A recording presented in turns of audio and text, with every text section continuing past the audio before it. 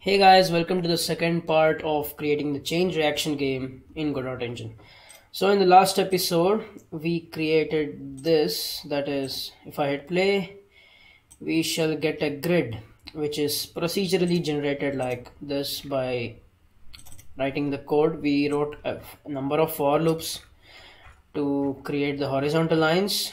We created the vertical lines, that is the depth field, the depth lines um, and then another set of horizontal lines for the second layer right? So this much we done in the last episode. Now if I hit play you can see that the depth effects is a little bit too much right? So you, there is a lot of the field of view is more you can say. Um,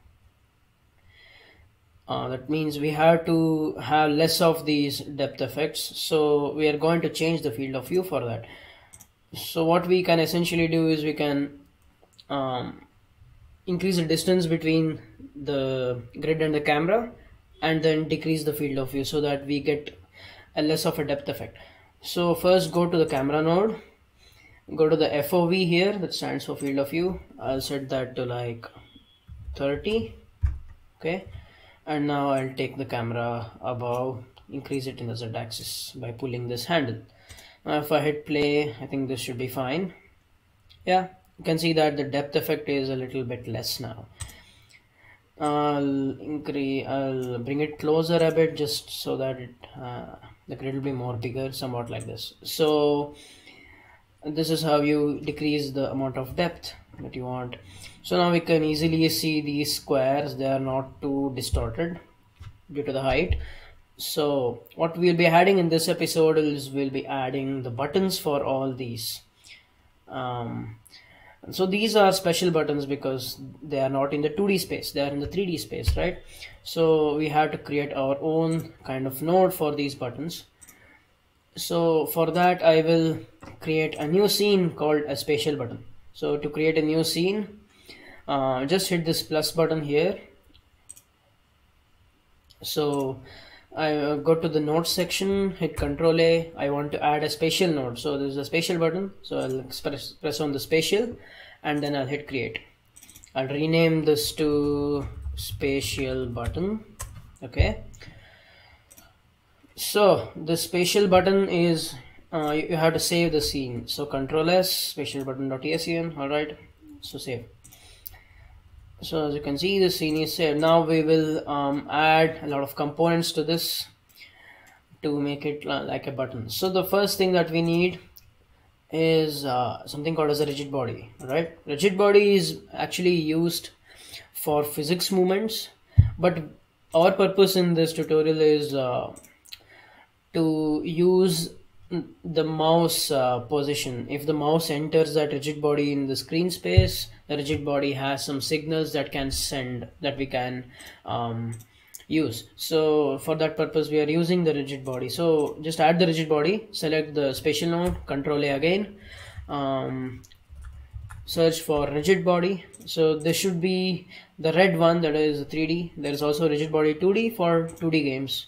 We are using the 3d now. So if you mouse over this triangle um, you'll see that it has no children's shapes right? It needs a body. This is just a node that is able to calculate the physics but it wants a body to actually calculate the physics for. So I'll just add um, a shape. Uh, I'll choose collision shape alright? So here is the collision shape. I will be choosing the primitive shape of square because it's button right so it's already a grid. So so rigid body has a collision shape now. Uh, the triangle in the rigid body is gone but there is another triangle in the collision shape. So it needs a shape right? So this collision shape has to be defined what type of shape it is working on. So if you go to the properties here you see the you see the shape is null here. And then I will select a box shape right? Basic so you get this kind of big shape. Um, I think I'll also add another shape of plane this is a visual shape. This is actually a body with just a collision mesh all right? This this box that you can see here this you can't see it on the screen but the physics are calculated as per this box for that body. But you actually need something to see right? So as a visual. So just select this rigid body add something called as a mesh instance so when you add a mesh instance you have something called as a mesh. So mesh is the visual part of what you see on the screen. So I'll add a new mesh of cube. Or I, guess I can add a plane right? Because it's a button it's only be it's only going to be rendered from one side. So planes are going to be rendered from one side. If you look from below you can't see anything right? So only from the above you can see now the shape is not exactly to that button um, to the um, plane that we have here. So you can use these uh, dots here to actually bring down the size. I'll bring it to about like this. So it roughly matches like this. A bit uh, a bit thicker. So this will be our button. All right so now um, we want this button to just be one unit wide and one unit uh, long right? So as you can see it is two units wide. So what I will do is go to the mesh instance go to the transform here in the spatial properties go down and you can see the scale. The scale in the x-axis should be 0.5 that means it will be halved and the z-axis should be 0.5 hit enter. So this is exactly 0.5 0.5 so this is actually one unit apart right? So also I will uh, go to the collision shapes transform do the same thing here so that the shape also matches. Oh I just plus 10.5 okay. Cool. So this is also 0.5 right so I'll just make the mesh the visual part of the mesh a little bit smaller so that we have some space. It looks elegant. We don't want we want to see the grid. If it's exactly one unit wide and one unit long you can't actually see the grid. It will be flush with each other when you inst instance it. So something somewhat like this right? So this is um, the mesh instance. Um, and next what we will do is we need to write in the code for this button. So we need to attach the script to the spatial button. So go to the spatial button hit the plus icon here again. It'll have the spatial button.gd okay the name is fine. I'll hit create. So now when you hit create you I told that uh, the rigid body emits a signal right? It, uh, it there is something in Godot called signals.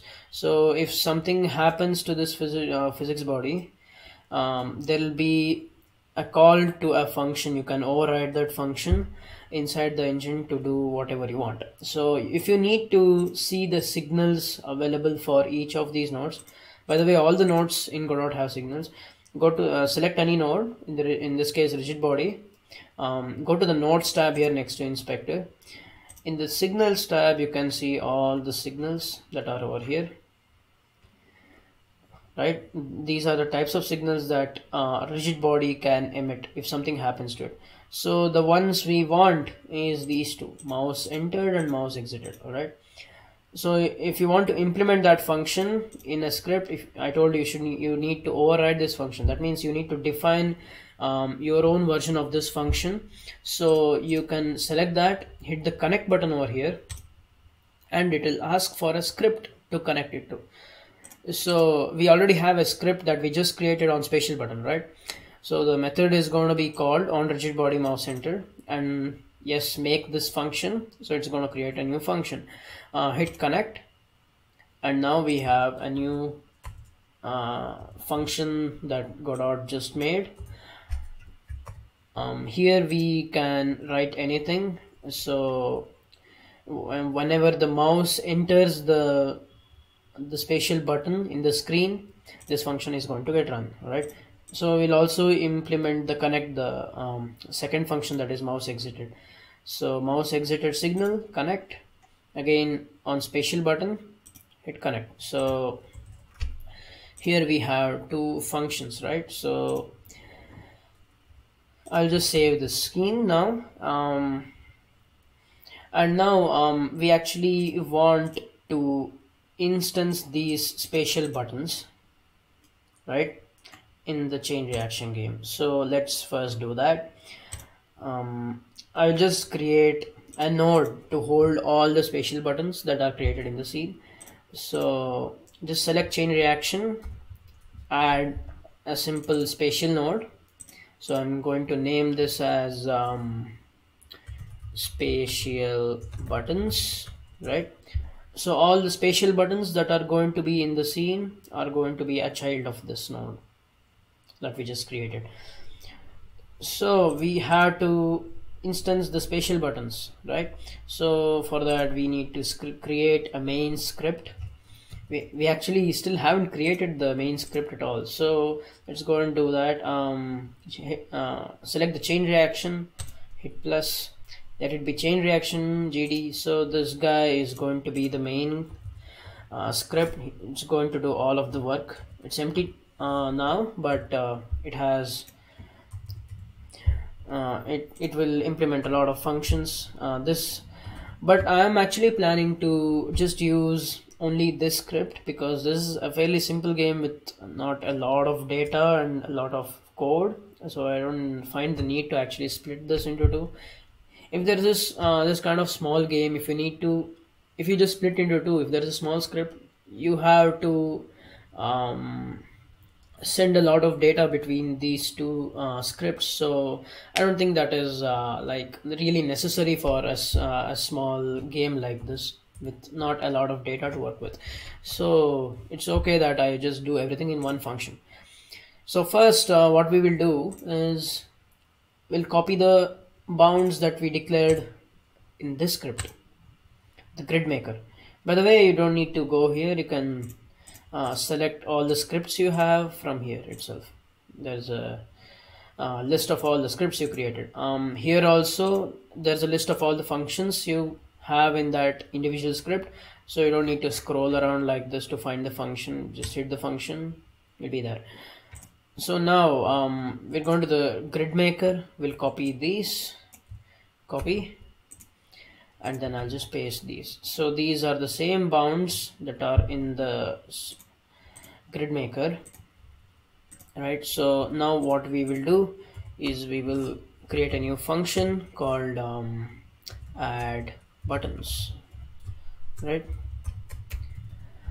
So this add buttons is actually going to add an um, 60 spatial buttons. Those that is this scene. This scene is going to be added 60 scenes of this spatial button is going to be added into the chain reaction.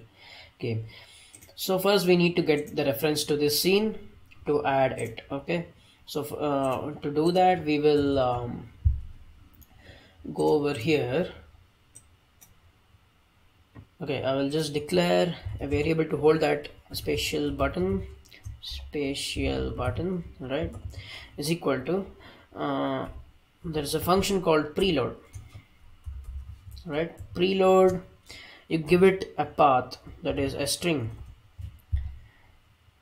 so this um, string is going to um, reference the scene over here. So this is the project window. Uh, this you can open it even in the Windows Explorer. Just right click show in file manager.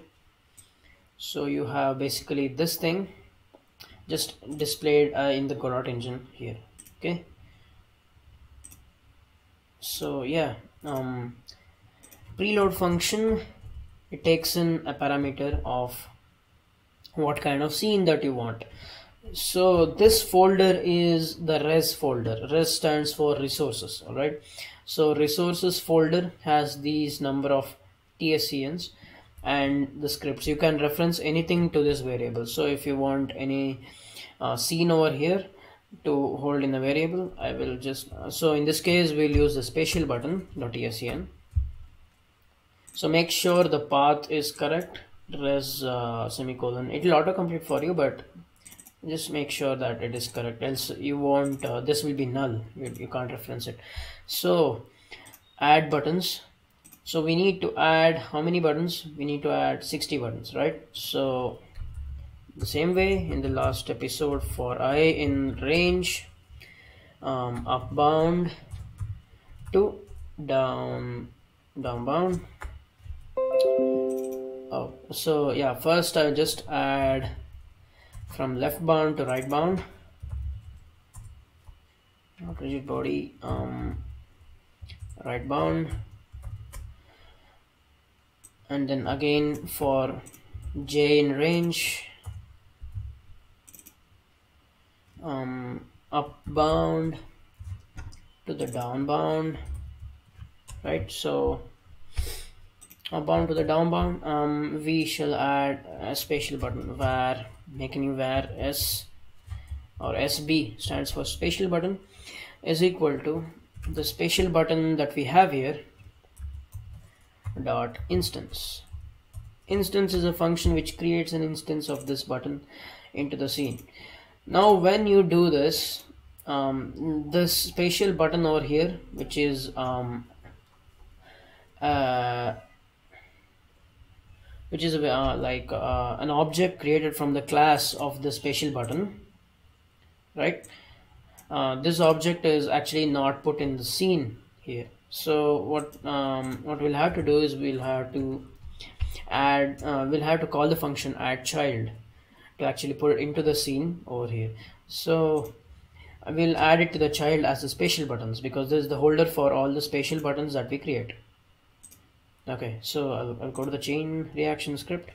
So in order to access any child that is uh, the direct um, like uh, which is in the inside the tree of the main um, the the script you can use a function called get node and here you can give the path of all the three uh, children of this node right? So we need spatial buttons. So this is actually a long way. So there is another shortcut in order to reference the children. Um, you, you can just use the dollar sign and then type spatial buttons. So this refers to the uh, child of that uh, node which the script is attached to. So this works only for the children right? So I just told um, there's a function called add child. So that means to this spatial buttons add the child what we need to add is um, spatial button SB right so now when we add the spatial button we'll just hit play. Hmm nothing is getting, getting rendered. Why is that? Because we have the mesh instance right? So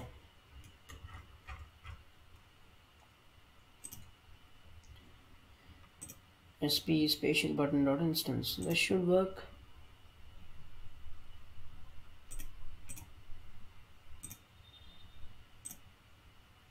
okay um so um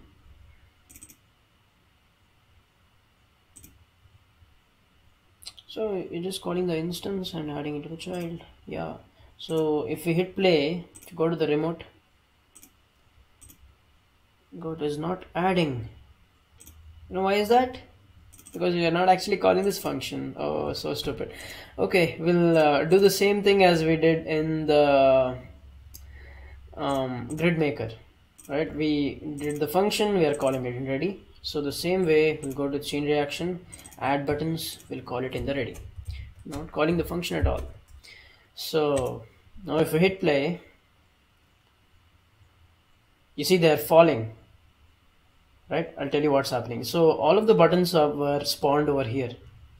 And the moment they spawn they are going like this. Because it is a rigid body right? Rigid body um it um obeys like um it not obeys um it acts with gravity. So it has gravity enabled. So the gravity is as we are looking from the top the gravity is going down right? That's why it's disappearing into the depth of the camera.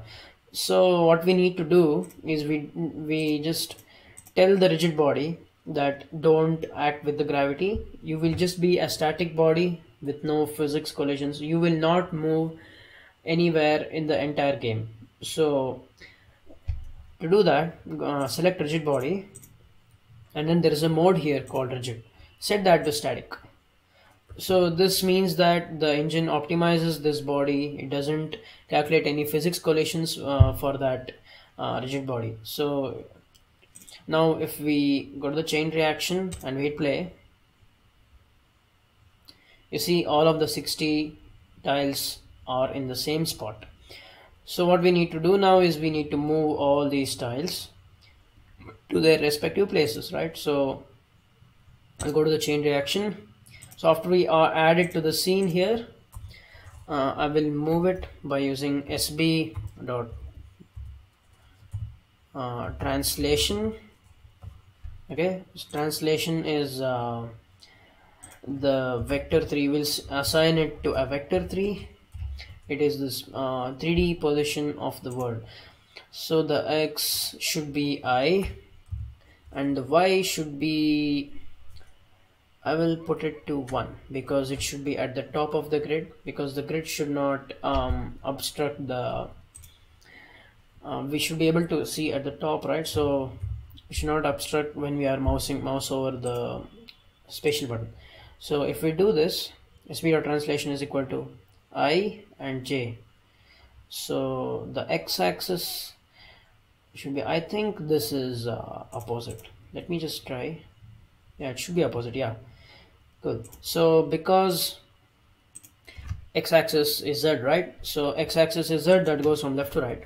So left to right loops from for i so i should be in the z-axis and j should be in the x-axis um, so if we do now we're getting all the buttons. But you see that they are offset by 0.5 right? So simple fix here we'll just add plus 0.5 to the j and plus 0.5 to the i. Now if we hit play it should be in the right spot now we don't uh, do anything when we mouse over these buttons right? So what we need to do is just connect these buttons that are here. So when we mouse over them mouse enter and mouse exited we have to do something right? So what we will do is we'll just have a variable over in the chain reaction called current button. Okay it is going to be a vector 2 or I'll just assign it to null for now. Because if we are not mouse overing any buttons it should be null. If we are mouse overing some button then it should have the coordinates of that button. Okay so the current button is currently null. So now after we instance the spatial button right the spatial button scene is going to be instanced into the spatial buttons. So what will happen is we'll have to get its parent that is the spatial buttons and its parent chain reaction. And we have to set the current button to something to that button itself when we mouse over it. So that is what we will do now. So go to the spatial button node.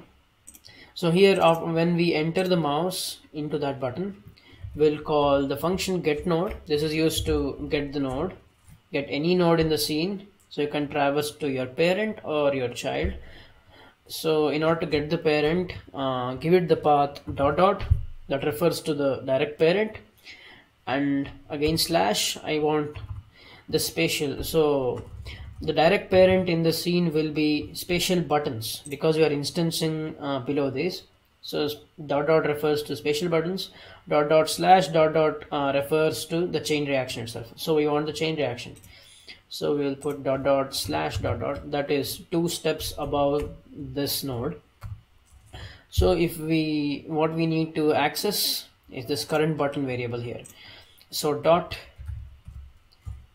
car button is equal to uh, vector 2 we'll assign it to a vector 2 of this um, uh, this spatial button's position in the world.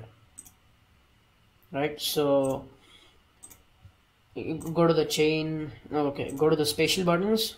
This vector 2 should be translation dot z because it's in the x-axis. And then translation dot x because it's in the y-axis right? So I'll assign it to that vector too. And now when we exit the button we'll set that this variable in the uh, chain reaction back to null. So just copy this and paste it here. Car button should be set to null when we exit the mouse from that button. So now what we'll do is we'll just have we'll just print out what the way um, the status of the current button is. So we have to print that out every frame. So the compiler called functions that is the underscore ready runs at the first that is the starting of the game. And every other frame after that for loops. So the looping function is underscore process. So if we enable this function here so this runs every frame. Called every frame delta time is the time since last frame. So it's also having a parameter called delta. So that is the difference between the time of this frame and the last frame. So what we need to do is we need to call the add buttons. Sorry um, we need to print out the current button status. So I'll just write print car button right? So now if I hit play and now you can see it's printing a lot of nulls here. As soon as I mouse over this button it's 0.5 comma 5.5 as soon as I mouse over it's 0.5 0.5 1.5 2.5 3.5 4.5 5.56 7 8 and 9 all right so you want the array to be 0 0 over here and then 9 and 6 Uh, sorry 9 and 5 over here.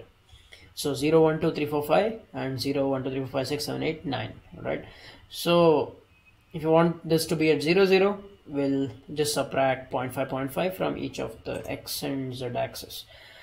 So go to the spatial button and here you have the translation dot z subtract it by 0.5 and then subtract it again by 0.5 so now if you hit uh, uh, if you hit play now you should get properly the 0 0 1 0 2 0 3 0 4 0 5 0 okay nice. So this is how we actually add spatial buttons to the chain reaction game. So in the next episode we will actually be creating um, the balls that we need to place the atoms. So till then um, if you have any uh, doubts or anything you want to share please put in the comments below. And till then see you. Bye bye